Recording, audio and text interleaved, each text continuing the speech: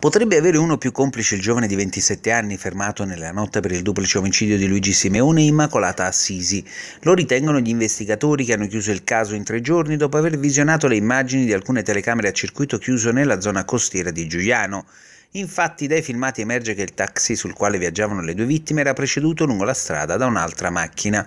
La ricostruzione di quanto accaduto è stata fornita nel corso di una conferenza stampa tenuta nella mattinata di oggi dal procuratore della Repubblica di Napoli Nord Francesco Greco e dai funzionari di polizia che hanno condotto le indagini Pasquale Trocino del commissariato di Giuliano, Fabiola Manconi della Polizia Scientifica e Lucio Vasaturo della squadra mobile della Questura di Napoli. Ascoltiamo il procuratore. È stata una, diciamo, una risposta importante in brevissimo eh, tempo.